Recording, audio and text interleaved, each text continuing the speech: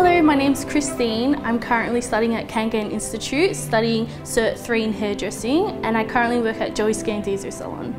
The reason why I started a hairdressing apprenticeship was because growing up I've always loved to be creative and I've always been a hands-on learner. Starting a hairdressing apprenticeship was the right path for me as I get to meet lots of new people who are creative and like-minded as myself.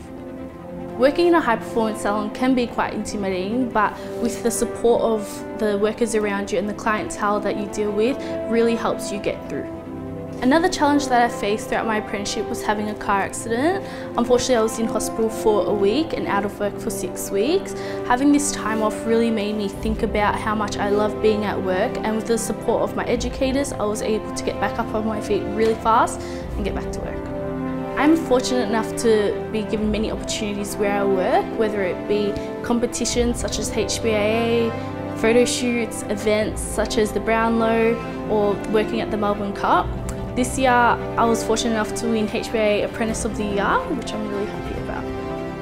In the future I would really like to build up my clientele within the salon and work my way up the ladder.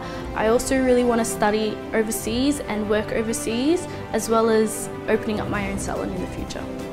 I really want to thank my educators Joseph and Rachel. They have helped me throughout my whole apprenticeship and get me where I am. From Kangan I would really like to thank Bree um, I really want to thank my sister also because she has inspired me to be where I am today. And I would also like to thank my mum for all the support and always being there